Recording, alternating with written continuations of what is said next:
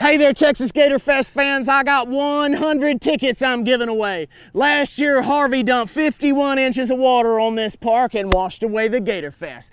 This year, we got rain coming, but we don't care because we ain't stopping. We're going to throw the biggest, baddest Texas Gator Fest mud bash you have ever seen. How do you win some tickets? It's easy.